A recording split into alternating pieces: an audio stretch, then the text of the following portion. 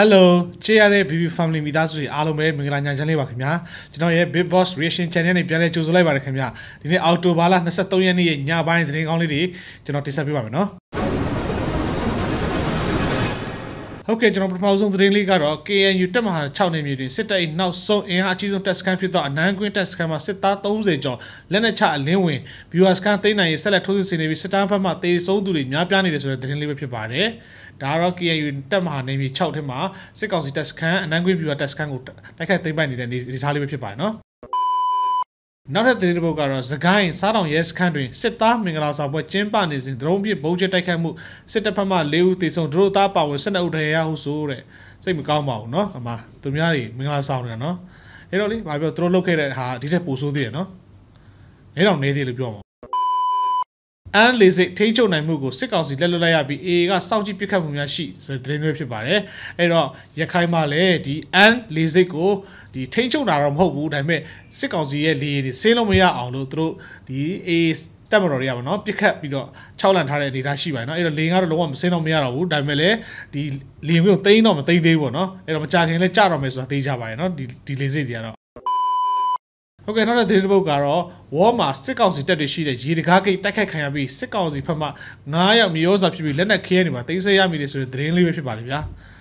ကဲဒီမှာဆိုရင်တော့သူတို့ရဲ့လက်နက်တွေပါမြင်နေရဖြစ်ပါတယ်နော် သတင်းကောင်းလေးပါပဲကဲနောက်လည်းကျွန်တော်ကြည့်ရမှာတော့ခေတ်တက်ကတင်ဆက်ထားတဲ့သတင်းလေးတစ်ပုဒ်ပေါ့နော်တစ်ချက်လောက်ကြည့်အောင်နော်တွေအကြမ်းမှာမြန်မာနိုင်ငံကိုအချုပ်ချအာဏာပိုင်ခွင့်မရှိတဲ့နိုင်ငံဖြစ်အောင်သွေးခွဲနေတဲ့ဆိုပြီးအကြမ်းဖက်ဒုတိယစေကောင်းဆောင်စိုးဝင်းကပါပြောသွားပြန်ပါတယ်ဒါကတော့ယမနေ့ကပြုလုပ်တဲ့စစ်ကောင်စီရဲ့89နှစ်မြောက်လွတ်လပ်ရေးအခမ်းအနားကျင်းပရေးဗဟိုကော်မတီအစည်းအဝေးမှာအကြမ်းဖက်ဒုတိယစစ်ကောင်းဆောင်စိုးဝင်းကပြောသွားပြန်တာပါဟွန်းအဲ့ဒီမှာ အကြမ်းဖက်ဒုတိယစစ်ကောင်းဆောင်စိုးဝင်းကိုတိုင်အဓိကပြောသွားတာကတော့မြန်မာနိုင်ငံအနေနဲ့အင်အားကြီးနိုင်ငံတွေကြားကိုရောက်နေပြီးအဲ့ဒီအင်အားကြီးနိုင်ငံတွေကမြန်မာနိုင်ငံကိုအချုပ်ချအာဏာပိုင်ခွင့်မရှိတဲ့နိုင်ငံဖြစ်အောင်သွေးခွဲနေတယ်ဆိုပြီးပြောသွားပြန်တာပါဒါနဲ့ပတ်သက်ပြီးနိုင်ငံရေးလေးလာတုံးသက်သူတွေကတော့လက်ရှိအကြမ်းဖက်စစ်ကောင်စီဟာသူတို့အာဏာတီမျက်ရည်အတွက်နှီးပေါင်းစုံတုံးပြီးသွေးခွဲမှုတွေကိုသူတို့ကသာပြုလုပ်နေသလိုအဲ့ဒီထဲမှာအခုလိုပြည်ပနိုင်ငံတွေကပဲမြန်မာနိုင်ငံကိုကျူးကျော်တော့မလို့လို့ မြန်မာအရေးကိုပြည်ပနိုင်ငံတွေကဝင်ရောက်ဆွတ်ဖက်ပြီးသွေးခွဲနေသလိုလိုစကားတွေကိုစစ်ကောင်စီကသာအမျိုးမျိုးလိမ်လည်လှည့်ပတ်ပြောနေပြီးအဲ့ဒါတွေကိုလည်းအစွန်းရောက်အမျိုးသားရေးသမားတွေကပါစစ်တပ်ဘက်ကနေလိုက်ပြီး KSS ဒီအတိုင်းပဲဝါဒဖြန့်လာခဲ့ကြတာဖြစ်တဲ့အပြင်အခုလည်းဆက်ပြီးဝါဒဖြန့်နေကြပြန်တယ်လို့အဓိကပြဿနာကသူတို့အာဏာသိမ်းလိုက်လို့ဖြစ်နေတာတွေကိုတိတိကြီးနဲ့လက်ရှိသူတို့တာအာဏာဆွန့်လိုက်ရင်ပြဿနာအားလုံးပြီးနေပြီလို့လဲရှစ်လေးလုံးလူလူအရေးတော်ပုံကြီးမှာပါဝင်ခဲ့တဲ့ နိုင်ငံရေးအကျဉ်းသားဟောင်းတဦးကသုံးသက်ပြောဆိုထားပါတယ်ခင်ဗျကဲရှင်းရနော်သူတို့အာနာသိန်းလို့ဖြစ်တဲ့ပြဿနာတွေပဲနော်ဒါတွေကအဲ့တော့သူတို့ပြဿနာဖြေရှင်းခြင်းဆိုလွယ်လေးနော်အာနာဆွန့်လိုက်အာနာဆွန့်ပြီးသူတို့လုပ်ခဲ့တဲ့ဒီပြစ်မှုတွေအတွက်ပြစ်ပြစ်ဒဏ်ခံလိုက်ဒါဆိုပြီးသွားပြီနော်ဒါဆိုရင်တော့အားလုံးတိုက်ပြီလေပြင်းပြင်းအေးချမ်းသွားပြီပေါ့နော် ဟုတ်ပြီကျွန်တော်နောက်ထပ်ပေါ့နော်ရခိုင်သတင်းလေးကြည့်ရပါတော့အဲ့တော့ရခိုင်မှာအနောက်ဘက်နေဆက်မောင်းတုံးနဲ့ဘူးရီတောင်ကိုတိုက်ပွဲတွေမှာတော်တော်လေးပြင်းထန်နေတယ်ဆိုတဲ့အကြောင်းကိုအေးရထုတ်ပြန်ထားတဲ့သတင်းတွေရဲ့ကွာမြို့နယ်ကျွေးချိုင်ယာယီအထိုင်စကန်ကိုစစ်ကောင်စီကလက်လွတ်ရလက်လွတ်လိုက်ရပြီဆိုတဲ့သတင်းကောင်းလေးနဲ့အတူပေါ့နော်နောက်ထပ်အန်ကျိန်တလီပတ်ဝန်းကျင်မှာနေစဉ်ရဆက်တိုက်ပွဲဖြစ်ပွားနေပြီးတောင်ကုန်းမြို့ပတ်ဝန်းကျင်မှာလည်းတိုက်ပွဲတွေရမန်ရကဖြစ်ပွားနေတယ်ဆိုတဲ့အကြောင်းတွေကိုတင်ဆက်ထားတဲ့ရခိုင်သတင်းလေးကျွန်တော်တစ်ချက်တော့နောက်ထောင်ကြည့်လောက်နော်အောင်တော့နဲ့ဘူးတီတောင်မြို့နယ်တွေမှာဖြစ်ပွားနေတဲ့တိုက်ပွဲတွေအပါအဝင် အကြံဖတ်အဖွဲ့တွေကိုစစ်စင်ရင်ပြုလုပ်နေတာတွေနဲ့ပတ်သက်ပြီးအာရခတက်တော် AA ကအောင်တိုဘာလ22ရက်နေ့နေ့စဉ်နဲ့တရင်ထုတ်ပြန်ထားပါတယ်။ AA ကပြုလုပ်နေတဲ့စစ်စင်ရင်အတွင်းမှာအာဆာအစွန်းရောက်အကြံဖက်လက်နက်ကင်တပ်ဖွဲ့ဝင်တွေနဲ့ထိတွေ့တိုက်ပွဲ9ကြိမ်လောက်ဖြစ်ပွားခဲ့ပြီးအခိုင်အမာစခန်းချနေထိုင်ခဲ့တဲ့နေရာ၄နေရာကိုသိမ်းပိုင်နိုင်ခဲ့တယ်လို့ဆိုပါတယ်။စစ်ကောင်စီကတပ်ဆင်ပေးထားတဲ့လက်နက်ခေရန်တွေအပြင်အစွန်းရောက်အကြံဖက်လက်နက်ကင်တပ်ဖွဲ့ဝင်အလောင်းတချို့ကိုလည်း တင်ဆေးရမိခဲ့တယ်လို့ထုတ်ပြန်ချက်မှာဖော်ပြထားပါတယ်။မောင်တော်မြို့မှာစစ်ကောင်စီရဲ့နခခ9စခန်းတခုပဲကျန်ရှိနေပေမဲ့အရခတက်တော်ကလောလောဆယ်လက်လန်းမပြီးသေးတဲ့နေရာတချို့မှာအာဆာ ISO AI ရဲ့အစွန်းရောက်အကြံဖက်လက်နက်ကိုက်တပ်ဖွဲ့ဝင်တွေကတပ်စခန်းတွေကိုအခိုင်အမာတိစောက်ထားပြီးခိုးအောင်နေတယ်လို့သိရပါတယ်။ဒါအပြင်အစွန်းရောက်အကြံဖက်လက်နက်ကိုင်တပ်ဖွဲ့ဝင်တွေဟာအကြသားပြည်သူလူထုတွေကိုလာရောက်ဖမ်းဆီးခေါ်ဆောင်တော့တာအကြံဖက်တပ်ဖြတ်သွားတာ ပြန်ပေးဆွေးတာငွေညစ်တာတွေကိုဇက်တိုက်ကျူးလွန်နေတယ်လို့ဆိုပါတယ်။ကျွန်တော်စစ်ကောင်စီနဲ့ပေါင်းတိုက်ပွဲအပြင်းထန်ဖြစ်ပွားပြီးနောက်ဂွာမြို့နယ်ကျွေချိုင်ရရဲ့အထိုင်စစ်ခံကိုစစ်ကောင်စီတပ်ကလဲလွတ်လိုက်ရပြီဖြစ်တယ်လို့ဒေသခံတွေကနရင်စရာကိုပြောပါရယ်ကဲတရင်ကောင်းနော်ပင်လေကမ်းခြေအပန်းဖြစ်စခန်းတစ်ခုဖြစ်တဲ့ကြွေချိုင်ရောမှာစစ်ကောင်စီတပ်နဲ့အာရခတက်တော်အေတို့အကြားပြီးခဲ့တဲ့တပတ်ကနေစတင်ပြီးတော့တိုက်ပွဲတွေအပြင်းထန်ဖြစ်ပွားခဲ့ပြီးတဲ့နောက်အော်တိုဘာလ21ရက်နေ့မှာတော့စစ်ကောင်စီကအဲ့ဒီကြေးရွာကနေနောက်ဆုတ်ပေးလိုက်ရတယ်လို့ ဒေတာအတွင်းကသတင်းအရင်းမြစ်တွေကပြောဆိုပါရယ်ကြွေချိုင်မှာစခန်းထိုင်ထားတဲ့တပ်တွေကိုအေကထိုးစစ်ဆင်ပြီးတင်ပိုက်လိုက်ပြီးနောက်စစ်ကောင်စီတပ်ကအကြအဆုံးတော်တော်များတယ်လို့ဒေသခံတယောက်ကနွင်စရာကိုပြောပါရယ်စစ်ကောင်စီနေပြီးကလေအဆက်မပြတ်လက်နက်ကြီးနဲ့ပစ်ခတ်နေပြီးတိုက်ပွဲတွေမှာကြွေချိုင်ဘုံတော်ကြီးကြောင်းနဲ့နေအိမ်ငါးလုံးလေးမင်းလောက်သွားတယ်လို့သူကဆက်ပြောပါရယ်စစ်ကောင်စီတပ်ဟာကြွေချိုင်စာတင်ကြောင်းနဲ့ဘုံတော်ကြီးကြောင်းတွေမှာစခန်းအထိုင်ချပြီးအေးရထိုးစစ်ကို လေကြောင်းနဲ့ရေကြောင်းကပါပြစ်ကိုမှုတွေနဲ့အတူခုခံနေပေမဲ့လေအကြဆုံးအများအပြားနဲ့နောက်ဆုတ်သွားခဲ့ရတယ်လို့ဆိုပါရယ်စစ်ကောင်စီဟာဇီးကုန်းကျေးရွာရေးတီဟာဘုံတော်ကြီးကြောင်းမှာဗီတက်အမြောက်ကြီးလေးလက်ကိုတက်ဆင်ကတိုက်ပွဲဖြစ်ပွားခဲ့တဲ့ကျွေးချံရွာနောက်ကျောကတောင်တန်းတွေကိုပြစ်ခတ်နေတယ်လို့လေဒေတာအတွင်းကစီးလေးလာတုံးသက်နေသူတယောက်ကပြောပါရယ်အေးတပ်ဖွဲ့ဝင်တွေဟာကျွေးချံကိုသိမ့်ပိုက်ပြီးနောက်ရွာထဲမှာပိတ်မိနေသူတွေကိုလေကေထုတ်သွားတယ်လို့လေဒေတာခတ်တွေကဆိုပါရယ် ကဲကျွန်တော်တို့ကြည့်ရမှာကတော့ဒီပြင်းဦးလင်မှာရှိတဲ့ဒီစစ်တပ်အတိုင်းဝိုင်းပေါ့နော်လူတွေကိုစစ်တပ်ကမနေ့ကလေးကပြီးခိုင်းထားပြီပေါ့နော်လူသူတို့တခြားနေရာကိုရွှေ့ထားပြီပေါ့နော်အဲ့ဒီသတင်းကိုလည်းကျွန်တော်တင်ဆက်ခဲ့ဖြစ်ပါတယ်နော်အခုဆိုမှဆိုရင်တော့ဒီပြင်းဦးလင်ကနေလာညလာဖြစ်နေတာပေါ့နော်အဲ့ဒါကိုကျော်စိုးကဘယ်လိုမျိုးပြောင်းပြောင်းစားပြောထားလဲဆိုတော့တစ်ချက်တော့နောက်ထောင်ကြည့်လိုက်အောင်နော်ဦးလင်မျိုးရဲ့အခြေအနေအော်ဒီကနေ့မနက်ပိုင်းမှာဒီစစ်သွေးကြွမီဒီယာတွေပေါ့ဗျာစစ်သွေးကြွမီဒီယာတွေကပြင်းဦးလင်မျိုးမှာရှိတဲ့ပြည်သူတွေအာစိုးရိမ်နေကြအောင်အမျိုးကိုဆုံးခွာနေကြအောင်စသဖြင့် ပုံစံမျိုးမျိုးနဲ့ရေးနေကြတယ်ဟွန်းပြီးခဲ့တဲ့သတင်းကြိုပိတ်ရက်မှာကျွန်တော်ကိုယ်တိုင်ပြင်းဦးလင်မှာကျွန်တော်၄ရက်ကြာတယ်၄ရက်ကြာတယ်အဲ့မှာပြုံးလေးမှာကျွန်တော်နေခဲ့တာအဲ့မှာကျွန်တော်တို့ဒါတော်တော်လေးကျွန်တော်တို့တော်တော်လေးလျှောက်သွားခဲ့တယ်ဗျာပြုံးလေးနဲ့ပတ်သက်တဲ့နေရာတော်တော်များများကိုလျှောက်သွားတယ်တော်တော်များများကိုကျွန်တော်ရောက်ခဲ့တယ်တော်တော်များများကိုလျှောက်သွားတယ်အချို့သောနေရာတွေကကျွန်တော်ဒီကိုယ့်ရဲ့ဒီ social platform မှာကျွန်တော်တင်လို့မရလို့မတင်လားတော်တော်များများကိုရောက်တယ်အဲ့တော့ပြင်းဦးလေးမျိုးရဲ့အခြေအနေနဲ့ပတ်သက်ပြီးတော့ဘာမှစိုးရိမ်ရမရှိဘူး ကျွန်တော်တို့ကစိုးရိမ်ရရှိတဲ့ကိစ္စကိုတော့ကျွန်တော်စိုးရိမ်စရာကောင်းတယ်လို့ကျွန်တော်ပြောမှာကျွန်တော်အဲ့လိုပဲလာရှိုးတော့ကလည်းသူတို့အဲ့လိုပဲပြောခဲ့ရနော်ကျွန်တော်တို့ရှေ့ကျွန်တော်တင်ပြခဲ့တဲ့သတင်းတွေကြည့်လိုက်ပါတကယ်ကိုစိုးရိမ်စရာကောင်းတဲ့နေရာတွေဆိုကျွန်တော်စိုးရိမ်စရာကောင်းပြောရသေးတယ်နော်ကျွန်တော်တင်ပြခဲ့တဲ့သတင်းတွေကြည့်လိုက်ပါတယ်လောက်ပြောင်းလေးပြောင်းစားကောင်းအောင်ပါတယ်လို့ပြောတယ်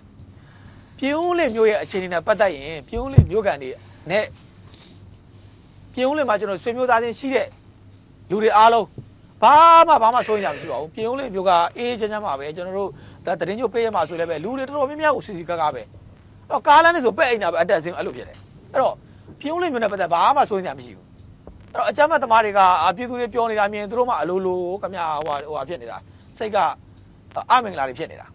ဒါကြောင့်ဒီပြင်းဦးလေးမျိုးကန်လေးများအနေနဲ့ပြင်းဦးလေးမျိုးနဲ့မျိုးရဲ့အခြေအနေနဲ့ပတ်သက်ပြီးတော့ဘာမှဘာမှစိတ်ပူစရာမရှိပါဘူးကျွန်တော်အေးစစ်စစ်ပါပဲအဲ့တော့ဒီအကြမ်းဖက်စစ်သွေးကြွတွေကပြင်းဦးလေးမျိုးထိ ဝင်လာနိုင်တဲ့အနေအထားလည်းမရှိဘူးကျွန်တော်တို့ရောက်နိုင်တဲ့နေရာတွေကျွန်တော်သွားခဲ့တယ်ပြင်းဦးလေးနဲ့ပိတ်ရမှာရောက်နိုင်တဲ့နေရာတွေကျွန်တော်ရောက်အောင်သွားခဲ့တယ်ဘာမှစိုးစရာမရှိပါဘူးကျိုးကျွန်တော်ရှေ့ကတင်ပြသလိုပဲကျွန်တော်ကကျိုးတော့တကယ်နေရာတွေကျွန်တော်အာကျွန်တော်ဒီနေရာရောက်နေပါပြီလို့သွားတင်လိုက်ရင်ဒါရန်သူကသိနိုင်တယ်ဒါကြောင့်ကျွန်တော်တို့မတင်တာလည်းဖြစ်တယ်ပြင်းဦးလေးနဲ့တစ်ဆက်တည်းအဲ့လိုကြားကြောက်တယ်မှာကကျွန်တော်တို့ပြင်းဦးလေးနဲ့နောက်ချို့နောက်ချို့ကြားမှာတိုက်ပွဲတွေပြင်းထန်နေတယ်အော်တိုဘောအော်တိုဘာလ19ရက်နေ့စပြီးဒီကနေ့တိုက်ပွဲတွေပြင်းထန်နေတယ်လက်ရှိဒါတက်မတော်က တက်မတော်ကကျွန်တော်တို့ဂန်ကောနောက်ချိုနဲ့ပြင်းဦးလေးကြားမှာရှိတယ်ဂန်ကောအဲ့တော့ဂန်ကောရွာကိုလည်းတက်မတော်ကတင်လိုက်ပြီးပြီးတော့ကျွန်တော်အုံမတီအုံမကအုံမတီအုံမကလမ်းဝဲကိုလည်းတက်ကတင်လိုက်ပြီးတော့အုံမတီအုံမကွားကိုအုံမတီအုံမကားလမ်းခွက်ကိုတက်ကမသိမ်းဘူးဆိုရင်သူကအုံမတီအုံမကားကဘယ်ကိုသွားချိတ်လဲဆိုတော့ဒီရှမ်းမြောက်ကနေပြီးတော့ဗျာကဲဒါတော့ ကြောင်စိုးရပြီးလို့ဖြစ်ပါတယ်เนาะအဲ့တော့ဘာပဲပြောပြင်ဦးလင်မှာတော့မနေ့ကသတင်းတွေတက်နေတယ်စစ်တပ်နဲ့နီးစပ်တဲ့အတိုင်းဝိုင်းလူတွေပြေးနေပေါ့เนาะတခြားလူတွေကြံတော့တယ်ဆိုတဲ့သတင်းလေးပေါ့เนาะအဲ့တော့မကြခင်မှာတော့တော်လိုင်းထက်တွေကလည်းထုတ်ထုတ်ပြန်ပါလိမ့်မယ်เนาะကဲနောက်ထပ်ကျွန်တော်ကြည့်ရမှာကတော့အခုဆိုရင်ပေါ့နော်ကျွန်တော်အလှမယ်ဆက်ဆက်မှာပေါ့နော်စစ်ကောင်စီနဲ့ပတ်သက်လာရင်သူတို့ဒီကဘာကိုသူတို့ဒီ speak out လုပ်ခဲ့ကြတယ်ပေါ့နော်အဲ့တော့ အဲ့လိုမျိုးလမြေတွေအများကြီးလုပ်ခဲ့ပေမဲ့ဒီဒီတစ်ခေါက်မှာတော့တက်တဲ့ကိစ္စမှာတော့မလုပ်ခဲ့တဲ့အတွက်ပေါ့နော်ဘယ်လိုမျိုးတွေဖြစ်တယ်ဆိုတာကိုအသုံးသက်တင်ပြထားတဲ့ကိုစီးဗီဒီယိုတစ်ချက်လောက်ကြည့်လိုက်အောင်နော်ဒီလာဒီရက်ပိုင်းမှာဝေဖန်မှုတွေတအားပွက်လောရိုက်နေတဲ့အချိန်မှာကျွန်တော်လေးစားခဲ့ရတဲ့အလှမဲ့တယောက်ကတော့တူဇာဝင့်လွင်ပဲဖြစ်ပါတယ်ဘေးမှာပြထားတဲ့ပုံပေါ့နော်တူဇာဝင့်လင်ကိုနော်အားလုံးတိကြပါလိမ့်မယ်2021ခုနှစ်စစ်အာဏာတိမ်းပြီးပူပူနွေးနွေးကာလမှာနော် မြမပြည်ရဲ့စစ်တပ်ရုံမှမှုပြည်သူတွေအပေါ်ဒုက္ခပေးမှုကိုကဘာကိုချပြလိုက်တဲ့တမိုင်းမှာပထမဦးဆုံးမဲစကြဝဠာစကားတင်စရင်ဝင်ဖြစ်လာခဲ့တဲ့သူနော်ဝီကီပီဒီးယားမှာသူ့နာမည်ပါခဲ့ပြီနာမည်တော့သူ့ရဲ့ဂုံတရင်မဟုတ်ဘာကြောင့်ဂုံကြီးလာတဲ့တာမန်သူကအလှမဲ့တယောက်ပဲဒါပေမဲ့လို့တမိုင်းမှာမြန်မာမယ်စัจ java ရာစကားတင်စင်းနဲ့ဝင်တဲ့လူဖြစ်အယူဆုံးဝင်တဲ့လူဖြစ်တယ်လို့ မြန်မာနိုင်ငံမှာပြည်သူတွေဖိနှိပ်ခံထိနေတဲ့ဒီအာဏာသိမ်းစစ်တပ်ရဲ့ရုံမှမှုကိုကပောင်ချပြခဲ့တဲ့တိုင်လှုပ်ခဲ့တဲ့အရာကဘယ်လောက်ထိထိရောက်သွားလဲဆိုရင်တချို့တွေနိုင်ငံတွေဆိုရင်မြန်မာဆိုတာဘာလဲလို့ Google ထဲမှာရိုက်ရှာပြီးတော့ကြည့်တဲ့အဆင့်ထိဖြစ်သွားတယ်ဒါဟာအလှမဲ့တယောက်ရဲ့နိုင်ငံကိုစားပြုအလှမဲ့တယောက်ရဲ့စွမ်းဆောင်ရည်ဒါမှနိုင်ငံကိုကိုစားပြုတာနိုင်ငံမှာဖြစ်ပေါ်နေရတဲ့အရာ ပြည်သူတွေအားလုံးခက်ခဲနေရတဲ့အရာခံစားနေရတဲ့အရာပေါ်ကိုကိုစားပြုပြီးတော့တူးရဲ့အလှမယ်ဆိုတဲ့အရာနဲ့လှုပ်ဆောင်ပေးသွားတာဒါဟာတော်လှန်ရေးကိုလှုပ်တာပဲလက်နက်ကင်တိုက်ပွဲဝင်မှတော်လှန်ရေးမဟုတ်ဘူးเนาะနောက်တူလေးစားစရာရှိတာတော့ဓမ္မတူကိုယ်တိုင်ပို့တင်ထားတယ်ကျွန်တော်တို့ဖတ်ကြည့်သူ့ရဲ့အကောင့်နာမည်ကဝေယံအောင်လို့ရှိရှိပါတယ်ဝေယံအောင်ဆိုရင် တချို့တလေတိကြပါလိမ့်မယ်သူကဘာလဲဆိုတော့ CEO National Director တယောက်ဘာ National Director လဲအလှမယ်တွေကိုနိုင်ငံတကာစင်မြင့်ပေါ်ကိုရောက်အောင်စ조사လှုပ်ဆောင်ခဲ့တဲ့ Director တယောက်เนาะနည်းနည်းနော်ဂုံပုံเนาะအခုအဲ့ဒီလူကဘယ်ရောက်နေတယ်ဘာလုပ်နေလဲသူတင်ထားတဲ့ပို့လေးကိုအရင်ဖတ်ကြည့် အခုလိုအချိန်မှာ miss ပွဲတွေကိုပျော်ပျော်ပါးပါးနဲ့အားပေးနေကြတာတွေ့ရတော့တော်လန်ရေးမတိုင်ခင်ကဒီလိုပွဲကြီးတွေကျင်းပဆင်လုပ်ပေးခဲ့တဲ့ CEO National Director တယောက်အနေနဲ့အရင်ချိန်တွေကိုဒီရမိတယ်ဗျ beauty pageant ဆိုတာကျွန်တော်တိတ်မြတ်လို့တန်ဖိုးထားရတဲ့အလုပ်ပဲလေအောင်မြင်ခဲ့တဲ့ organization တီးတစ်ခုဖြစ်လာဖို့အခက်အခဲအမျိုးမျိုးကြားကနေဖြစ်ထွန်းအောင်စ조사နိုင်ခဲ့တာ อืม ပြည်သူနဲ့အတူရက်တည်ဖို့အတွက်ဆိုတဲ့စိတ်ဓာတ်တစ်ခုတည်းနဲ့ဒီလိုအောင်မြင်နေတဲ့ဘဝကြီးကိုစွန့်လွတ်ပြီးဒီတော်လှန်ရေးမှာပါဝင်ခဲ့တာလေဒါလည်းကိုယ့်ရဲ့ရွေးချယ်မှုပါပဲမာလာအာနာသိမ့်မှုတာမဖြစ်ခဲ့ရင်ဒီလိုအချိန်ဆိုကိုယ်တွေလည်းဘလောက်တောင်အောင်မြင်ပျော်ရွှင်နေမလဲပေါ့ဗျာဒါပေမဲ့အခုအချိန်ဒီမှာတော့ miss ပွဲတွေအားပေးပြီးပျော်ရွှင်ဂုဏ်ယူနေကြတဲ့ပြည်သူတွေကိုမြင်ရတော့အံ့အားတင်းရတယ်လို့အခုလိုအချိန်မျိုးအချိန်တွေမျိုးမှာတော့ ဘဝကိုကျင့်တတ်အောင်နေနိုင်တာပျော်ရွှင်အောင်နေနိုင်တာအချိန်ပေးအားပေးနိုင်တာတိတ်ကောင်းပါတယ်ဗျာဆက်ပြီးအဆအဆရရအစဉ်ပြေအောင်မြင်ကြပါစေခင်ဗျာကျွန်တော်ကတော့အခက်အခဲတွေကြောင့်အစဉ်မပြေကြတဲ့စစ်ဆောင်ပြည်သူတွေအနာဂတ်မျိုးဆက်တစ်ကလေးငယ်တွေလွတ်မြောက်နိုင်ဖို့အတွက်ဆက်လက်ကြိုးစားနေအောင်ပါပါခင်ဗျာဆိုပြီးတော့သူကိုယ်တိုင်ပို့ရေးထားတဲ့စံပြလူငယ်ဝေယံအောင်ဆိုတဲ့နော်စောင်းပါလေးတောင်ပါခဲ့တယ်ဒီပုံထဲမှာတွေ့တဲ့အတိုင်းပဲ ဒါကတော့အလှမဲ့တွေနိုင်ငံတကာစင်မြင့်ပေါ်ကိုရောက်ဖို့အတွက်နော်ဒိုင်တာလုတ်ပေးခဲ့တဲ့ဝေယံအောင်ပဲဖြစ်ပါတယ်သူကိုယ်တိုင်တင်ထားတဲ့ပို့လေးပါနော်နောက်ထပ်အလှမဲ့တယောက်ကျွန်တော်တို့ဒါကတော့ထားထက်ထက်ပဲဖြစ်ပါတယ်နော်အခုထိတော်ထဲမှာပြင်ပန်းစင်းရခံပြီးတော်လန်ရေးအတွက်ရုံးကန်တွေက2013ခုနှစ်မှာပေါ့နော်ထားထက်ထက်တို့ခစ်ကတော့ဒါအလှမဲ့တယောက်ဖြစ်နေပေမဲ့ယုံကြည်ချက်နဲ့တိုင်းပြည်အပေါ်တစ္ဆာရှိမှုနဲ့ပါဝင်နေတာနော်ဒီလူတွေဒီ နော်ဘလောက်ထိထိရောက်သွားလဲဆိုတာအဲ့ဒါတချို့တလေကပြောခဲ့တယ်ပြောနေကြတာရှိတယ်အော်လို့ရောနိုင်ငံတကာကဘာအကူအညီရလဲတဲ့ကျွန်တော်တို့ကိုမထုမထောင်းမဲနဲ့မဖိနှိပ်ပဲနဲ့ထိုင်ကြည့်ပေးနေရတာဒါကိုတည်းကကူညီနေတာဗျနိုင်ငံတကာအနေနဲ့လက်ရှိ PDF တွေဟာအကျန်းဖက်တွေမှာတပုံတွေမှာစစ်ကောင်စီဖြစ်ချင်တိုင်းမအော်ပေးတာကိုတည်းကကြောက်တော့ကိုကူညီနေတာနားလေတာအဲ့ဒါကိုရင်နာတယ်တချို့တလေပြောတဲ့စကားတွေ နော်စွန့်စားလုံနေတဲ့လူတွေဘလောက်ထိလုံနေတယ်ကိုယ်နိုင်ငံကိုကိုစားပြုတ်တာအားပေးရပေါ့အားမပေးပဲနေမလားနော်အခုဘလူတဲ့နော်တက်တက်တဲစုငိမ့်အားပေးတယ်အော်ဒီကောင်မလေးတော်တယ်အတက်ကလေးငယ်ငယ်လေးနဲ့ ESK ကျွမ်းကျင်တယ်အားပေးတယ်ကျွန်တော်တို့ပုံနိုင်တယ်အားပေးတဲ့ထဲမှာပါတယ်ဒါပေမဲ့နိုင်ငံကိုကိုစားပြုတ်နေတယ်သွားမထိတ်နဲ့သွားမပြောနဲ့ နော်ကျွန်တော်တို့ပြောနေတာအဲ့ဒီကလေးမလေးကိုပြောနေတာမဟုတ်ဘူးနော်အဲ့ဒီကလေးမရဲ့ဖန်မာဆိုတဲ့စောက်တဲပုံနေတဲ့ဟာတွေကိုဘယ်ပြောတာရှင်းလားအဲ့ကလေးမထက်အရှင်းမလောက်ခဲ့တဲ့လူတွေဘယ်လောက်ရှိတယ်ပြန်ကြည့်ဖေမရကြနဲ့လုံနေတဲ့လူတွေရင်းထားတဲ့အတက်တွေအများကြီးရှိတယ်အားပေးတာအားပေးတာမှန်တယ်နိုင်ငံကိုစားပြုတွားတယ်အားပေးရမယ်ဒါပေမဲ့ဒီနေ့ချိန်ထိအဲ့ဒီကလေးမသူ့ရဲ့ကိုအလှဆင်းတယ်သူ crown ရဖို့အတွက်လုပ်နေတာ တခွန်းမပြောသေးဘူးနိုင်ငံအတွက်မပြောချင်လို့ကြည့်နေတာဒါပေမဲ့မပြောတာထားပါသူ့ကိုမပုတ်ခတ်ဘူးသူ့ကိုမရှုံရှောက်ဘူးအခုပြောနေကြတာဒီအဲ့ခလေးမကိုပြောနေကြတာမဟုတ်ဘူးအဲ့ဒီခလေးမကိုအရေးတကြီးဒါဟိုဒါပဲဖြစ်ကြမယ်ငါတို့ကတော်လန်ရေးနဲ့လှုပ်ခဲ့တာပဲဟမ်ဘာနေတော်လန်ရေးကလှုပ်ခဲ့တာနဲ့ဒီခလေးမကိုအားမပေးရတယ်ဘူးလားအားပေးရမယ်လေဒါပေမဲ့လိုတာတဲ့ပို့ပြီးတော့ဖြစ်ပြနေတဲ့ဟာတွေကိုပြောတာကဲကိုစီပြောရလဲမှန်ပါနော် ကျွံမဲလှုပ်လို့ရသေးလားပြည်တွင်းမှာဘလူလှုပ်လို့ရတယ်အားလုံးကဒီအောက်ကိုရောက်နေပြီးဘွားတွေတုံးနေကြတဲ့အထက်မှာဒီအချိန်ခါမှလွတ်အောင်မယုံကြရင်ဘယ်အချိန်မှလွတ်လို့မရဘူးနော်တဘောပေါက်လားမသိဘူးအဲ့တော့